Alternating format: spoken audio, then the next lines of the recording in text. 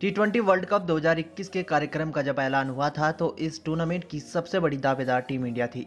दरअसल विराट कोहली, रोहित शर्मा के राहुल, ऋषभ पंत जसप्रीत बुमराह जैसे सूरमाओं से भरी टीम हर विरोधी के लिए बड़ा खतरा थी, लेकिन भारतीय टीम ने टी वर्ल्ड कप में बेहद खराब प्रदर्शन किया और ये टीम सुपर बारह राउंड से बाहर हो गई है। दरअसल अफ़गानिस्तान पर न्यूजीलैंड की जीत के साथ ही टी वर्ल्ड कप 2021 के सेमीफाइनल में पहुँचने वाली टीम तय हो गई है, जिसका नाम भारत नहीं है। दरअसल सेमीफाइनल में इंग्लैंड, ऑस्ट्रेलिया, पाकिस्तान और न्यूजीलैंड ने जगह बनाई है और 2007 में टी चैंपियन बनने वाली टीम इंडिया का पत्ता साफ़ हो गया है। दरअसल टूर्नामेंट में टीम इंडिया की शुरुआत बेहद खराब रही। भारतीय टीम पाकिस्तान से ही पहला मैच दस विकेट से हार गई। इसके बाद न्यूजीलैंड ने भी उसे एक तरफा अंदाज में 8 विकेट से हरा दिया। ये दो हार टीम इंडिया के लिए बड़ा झटका साबित हुई और अगले दो मैच जीतने के बावजूद उसके हाथ मायूसी ही लगी है।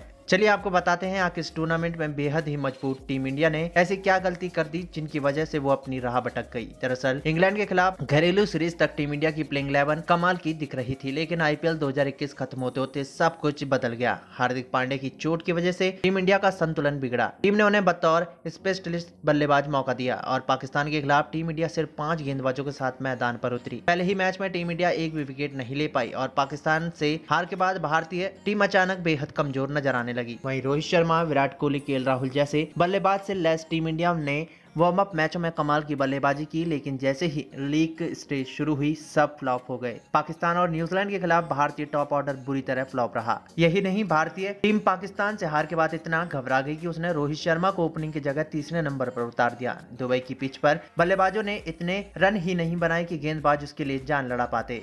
वहीं आपको बता दें, भारतीय टीम की नाकामी की तीसरे सबसे बड़ी वजह रही गेंदबाजों का गलत चयन। टीम इंडिया कभी युजवेंद्र चहल और कुलदीप यादव जैसे दो कलाइयों के स्पिनरों के साथ मैदान पर उतरती थी, लेकिन इस पूरे टूर्नामेंट में विराट एंड कंपनी ने रेस्ट स्पिनर को प्लेइंग इलेवन में ही नहीं रखा। सबसे पहले युजवेंद्र चहल के अनुभव पर राहुल चहर को तरजीह दी गई और इसके बाद इस गेंदबाज को प्लेइंग इलेवन में ही मौका नहीं दिया गया। नतीजा टीम इंडिया पहले दो मैचों के मिडिल ओवर में विकेट ही नहीं चटका पाई। वहीं टीम इंडिया की हार की चौथी बड़ी वजह टॉस टॉस भी रहा। दुबई में डे नाइट मैचों में पहले बल्लेबाजी करने वाली टीम को हमेशा रन बनाने में परेशानी हुई है और भारतीय टीम के कप्तान विराट कोहली पहले दो बड़े मैच में ही टॉस हार गए। रात में गिरने वाली ओस की वजह से पाकिस्तान ने आसानी से एक सौ बावन रनों के लक्ष्य को हासिल किया और न्यूजीलैंड ने भी 111 रन बड़े आराम से बनाए। वहीं बायो बबल की थकान भी टीम इंडिया की हार की बड़ी वजह रही। टीम इंडिया के खिलाड़ी इंग्लैंड में टेस्ट सीरीज़ खेलने के बाद तुरंत यूएई पहुँचे और आईपीएल 2021 खेलने लगे।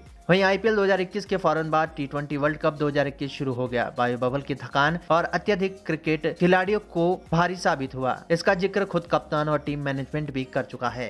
खैर दोस्तों, आपको क्या लगता है? हमारे कमेंट बॉक्स में ज़रूर बताएँ।